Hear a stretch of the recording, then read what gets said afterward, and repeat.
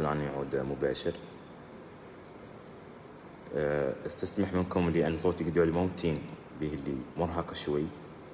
أه، ماني راقد حتى وتعبان وعندي وجع في الراس. يا غير توف الوضعية عادت أه، تتطلب مني عني نتكلم ووضح بعض النقاط اللي اللي تخص نقابة الصحفيين الموريتانيين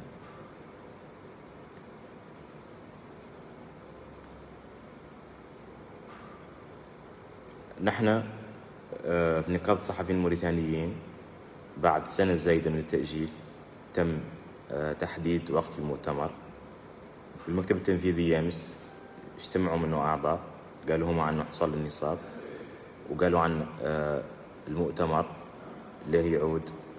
في وقته المحدد يومي 16 17 هذا الشهر. ونحن كنا رافضين التأجيل فعلا اللي فهم عدة خيارات قد يعدل بها المؤتمر. بارك الله نوضح لكم عدة نقاط آه، بخصوص نقابة الصحفيين الموريتانيين. شكرا جزيلا لكم يعطيكم الصحة. آه، بالنسبة مبدئيا للشكوى اللي كتبت عنها على الصفحة هذه الشكوى مقدمتها هيئة الساحل بوصفها هيئة ناشطة في حقوق الإنسان والدفاع عن التعليم والله دمج والله رفع التعليم والسلم الاجتماعي. ما هي باسمي أنا شخصيا باللي أنا إلين فت تكلمت عن رفع الشكوى آه اقترح لي المحامي عنها تستخدم في إطار حملة. وفي إطار آه تنافس على النقابة يعود تأثيرها قليل. ثانيا اللي ما عندنا ما عندنا الوقت لها لأن نحن حالا في تنسيق آه، دائم مع المرشحين و آه، لذلك وقفت شخصيا تقديمها مع زملائي صحفيين وزميلاتي من مختلف الشرائح مع آه، رفع الشكوى وقالوا لي بالحرف الواحد اللي ما تقدم الشكوى اللي نقدموها نحن.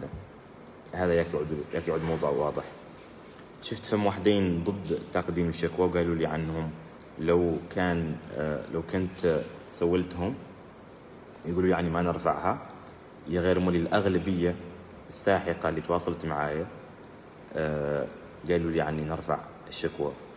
آه، فيهم مسؤولين في الدولة فيهم معارضين فيهم وحدين قطعوا عادوا مسؤولين في الدولة فيهم محامين فيهم إعلاميين. يا غير الشكوى حالا أجلتها لين توفى هذه المعركة. آه بالنسبة ل آه آه هذه الشكوى تخص هيئة الساحل ودفاع عن الحقوق ودفاع عن آه السلم الاجتماعي. آه هذا موضوع الشكوى. موضوع نقابة الصحفيين الموريتانيين. نحن اللي جينا للنقابة. إجبرنا اللائحة للأسف الشديد نتصرف في هذا النقيب. بحذف زملائنا الصحفيين من اللائحة بكتابة أسماء بعض الزملاء بطريقة غير صحيحة. وهذا الأمرين آه، أمور خطيرة لأن تعود آه، نقابة الصحفيين الموريتانيين لائحتها اللي هي يتنافسوا عليها الصحفيين ما هي صالحة منها عن فم آه، أرضية ما هي صالحة للتنافس الشريف. هذا النقيب عدل اللائحة بالطريقة اللي يبغي هو. زملاء وصحفيين اللي دار أسمائهم صالحة ما نحذف له حد بينما نحن زملائنا اللي صوتوا له 2017 واللي كانوا معاه تم حذفهم. قلنا له بشكل صريح عن هذا المؤتمر ما أننا قايسينه طالما الأرضية ما هي متساوية. طالما هو قابل خطوات قدامنا ودورنا نشاركوا معاه في المؤتمر. لذلك ما مستعدين ندخل السباق مع رجاج متقدم علينا بخطوات خاصة عنه هو كان النقيب واللائحة عنده وعنده القدرة في يتصرف فيها. لذلك نطالب ونعلن للرأي العام عن نقابة الصحفيين الموريتانيين لائحة المنتسبين فيها لائحة سيئة للغاية وغير مقبولة. يلا تحين ينقلعوا عنها. الناس اللي توفات. ينحذفوا الأسماء المكررة. يتم إعادة صحفيين وصحفيات زملائنا وزميلاتنا اللي تم حذفهم. تتم إرجاع يتم إرجاعهم للائحة المنتسبين. ويتم تصحيح أسماء زملائنا وزميلاتنا اللي تمت كتابة أسمائهم بطريقة خاطئة. وليه ما يتم تصحيح هذا والتغلب على هذه المشاكل؟ نحن ما ماشيين شر هذا المؤتمر لأنه مكيدة ولأنه آه التفاف على صحفيين اللي دور تغيير ولأنه التفاف على صحفيين اللي اختاروا ناس جديدة ياك تقود هذه النقابة. الموضوع الثاني هو عن هذه النقابة للأسف الشديد ما عندها أرشيف. نحن جينا نطالبوا بلائحة 2017 وبلائحة مؤتمر 2013 إياك نعرفوا الأسماء اللي سقطت والأسماء اللي تم حذفها. قال لنا النقيب صريح العبارة لو لهم على الإنترنت. آه كيف تعود النقابة تحترم نفسها؟ ما عندها أرشيف. كيف تعود النقابة لهذا من السنوات هي موجودة وأسماء الزملاء وأسماء الزميلات ما هم موجودين عندها. المؤتمر 2017 يامس مالوش. وهو جاي النقابة 2017 وكان فيها سابق ذاك في عضو المكتب التنفيذي. منين هو؟ ل الأرشيف. الناس اللي شاركت في المؤتمر 2013 الناس اللي شاركت في المؤتمر 2017 منين هي؟ لماذا ينقال لنا قيسوا الإنترنت أبحثوا عن آه، أسماء زملائكم. النقطة الأخرى هي تصويت الزملاء اللي في الداخل واللي في الخارج. نحن الحمد لله الإعلام العمومي تطور. عاد التلفزيون الموريتانية عندها مكاتب في الداخل. والإذاعة كانت عندها مكاتب في الداخل وطرات مكاتب جديدة في الداخل. وعاد الإعلام فم إعلام جهوي. موجود في نوابيب وفي ألاق وفي النعمة وفي روصو وزويرات كل ولايات الوطن فيها صحفيين. عندهم مواقع وعندهم منصات للتواصل الاجتماعي. هذا الزملاء عندهم الحق يجوا المؤتمر ياك يصوتوا على النقيب اللي ليه يمثلهم واللي ليه يقود نقابة الصحفيين الموريتانيين. نقابة الصحفيين الموريتانيين قيادة محمد سالم ولداه بعد قبل ثلاثة أيام من المؤتمر ما عنده خطة لإشراك الصحفيين المسجلين في نقابة الصحفيين الموريتانيين اللي في الداخل اللي في نواذيبو اللي في لاك واللي في النعمة واللي في روسو واللي في زويرات واللي في الولايات الأخرى هذه واحدة. الثانية زملائنا اللي في الخارج. عندنا زملاء في أمريكا عندنا زملاء في أوروبا عندنا زملاء في تركيا عندنا زملاء في الدول الأوروبية الأخرى الدول العربية الدول الإفريقية. هؤلاء الزملاء مسجلين في نقابة الصحفيين الموريتانيين. وموجودين في لوائحنا المرشحة للنقابة. ما فهم طريقة عند نقابة الصحفيين الموريتانيين تسمح لهؤلاء الزملاء بعنهم يشاركوا في المؤتمر. عنهم يصوتوا للنقيب الصحفيين اللي له يعود يمثلهم يمثلهم قناعة. لذلك نحن قررنا أن نقدم آه، طلب للجنة المشرفة على المؤتمر. أنا كمرشح لائحة المستقبل مطالب المعلوم كمرشح تضامن وسعيد حبيب كمرشح للأمل. عدلنا طلب موحد ومشيناه إلى اللجنة المشرفة على المؤتمر وطالبنا بهذه النقاط. وقلنا بشكل واضح عن لين ما يتم الاستجابة لهذه النقاط نحن ما مستعدين نشوف مؤتمر مو توافقي ما مستعدين نفتروا سنة من التنسيق وسنة من الحملات وسنة من الاتصال بالزملاء والزميلات وسنة من العمل الميداني والحملات. ياك نجي المؤتمر ما هو توافقي. ونشرعوه الرقاج. مات لصالح لقيادة النقابة الصحفيين الموريتانيين ويغلبنا فيه. لأن إحنا ما معدلينه والصحفيين ما هم قابلينه ولا معدلينه. هذا اخترت. آه نقوله في لايف ياك يطلع عليه الرأي العام الموريتاني والنقطة الأخيرة اللي طالبنا بها أن يعود فم آه مشرف مشرفين على المؤتمر العملية الانتخابية من القضاء. لجنة من القضاء خارج نقابة الصحفيين الموريتانيين. لجنة توافقية. نحن واثقين فيها. اللي ذو الناس اللي في النقابة ما لنا واثقين فيهم. كاملين منحازين. لهذا المرشح أو ذاك. وهذا هو اللي قد يسبب المشاكل مستقبلا هذا المؤتمر اللي يمشي بهذه الطريقة. ليجي وراه لا المشاكل والقضاء والتقاضي وشكوى هون وشكوى هوك كيس ما قد تخلق 2017 مشات سنة من مولية الراجل في القضاء. لأنه عدل المؤتمر ما وصل هيك الساعة ونعم حالا هذا المؤتمر يلا يعود يعدل بطريقة ترضي الجميع. ترضي جميع الأطراف. إياك لين يوفى المؤتمر وينجح الناجح. نهنئه كاملين ونقول له مبروك يعطيك الصحة. رانا نجحت في نقابة الصحفيين الموريتانيين. الآن أنت نقيب ونحن مساعدين نشتغل معاك كصحفيين منتسبين لنقابة الصحفيين الموريتانيين. إيه غير مولي لين تعود؟ ما هي صالحة وهي توافقية ما أنا معدلينها. واللي يبغى يترشح مع راسه يترشح ويعدل المؤتمر ينافس نفسه. يقدموا منافس بعد آه، مرشحين داروا صحفيين وصحفيات ثقتهم فيهم ياك يمثلوهم الرأي العام يلا يعود مطلع على هذه النقاط.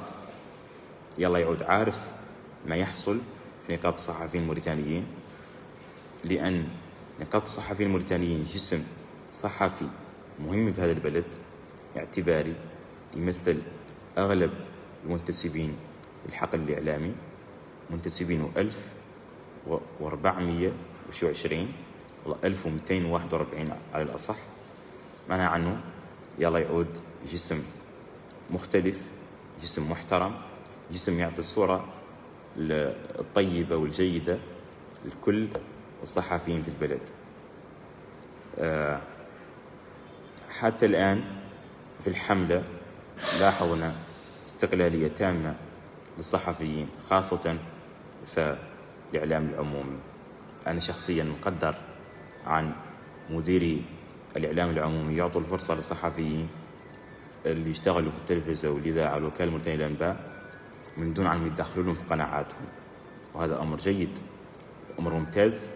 ونحن نشجعه ونعتبره آه، خطوة مهمة آه، نحو اختيار الصحفي اللي يعود يمثل كل الصحفيين الموريتانيين اللي يعود نقيب صحفيين موريتانيين.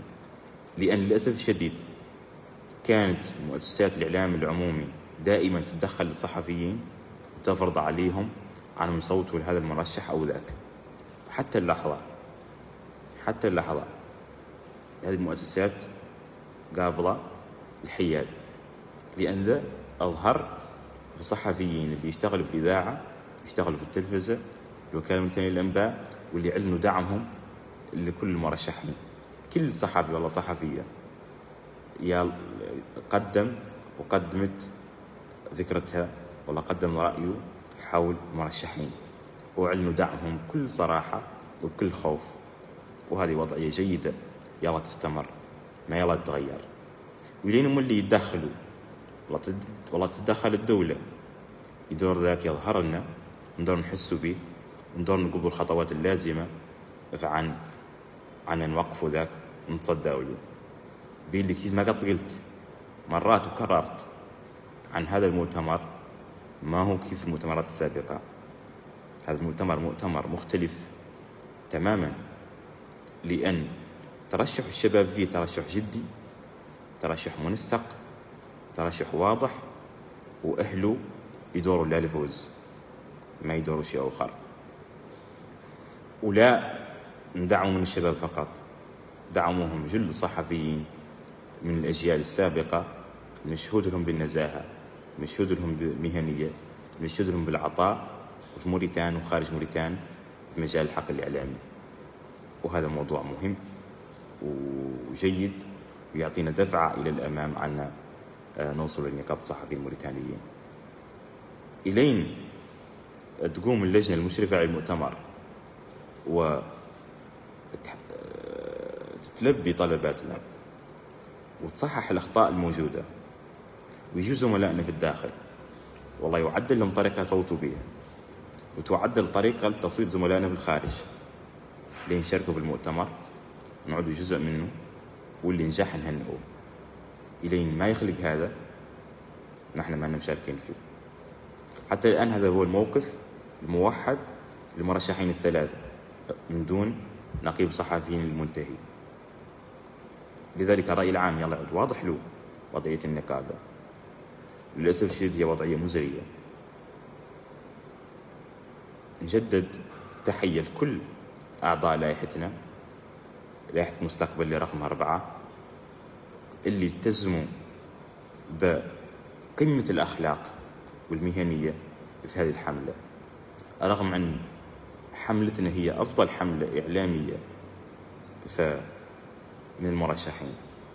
رغم عنها هي أكبر حملة تأثير في هذه الانتخابات. ما يسجل على واحدة منا ولا واحد منا. على عنه عدل تجاوز في حق حد. ولا رد على حد رد ما هو جيد. رغم عن تم استفزازهم. ورغم عن تم التجاوز عليهم ورغم عن تم الضغوط عليهم يا غير ما خلق أي شيء قد يأثر على حملتنا. شاكر جميع زملائي وزميلاتي في لائحة المستقبل. وراني سعيد ومتشرف ولائحة متشرفة بدعم الصحفيين المهنيين لنا وإعلانهم لذاك على صفحاتهم على مواقع التواصل الاجتماعي وتأكيدهم الدائم لدعمنا ومساندتنا وتصويت لنا ومتشرف بذوك الزملاء اللي انسحبوا من لائحة النقيب المنتهي وأعلنوا انسحابهم وأعلنوا دعمهم لنا. هذه سابقة في مجال الصحافة في البلد عن مادة آه، تستخدم العقل والمنطق والفكر وتراجع قراراتها بناء على معطيات محددة. وتقرر من جديد أنها تمشي في مسار آخر.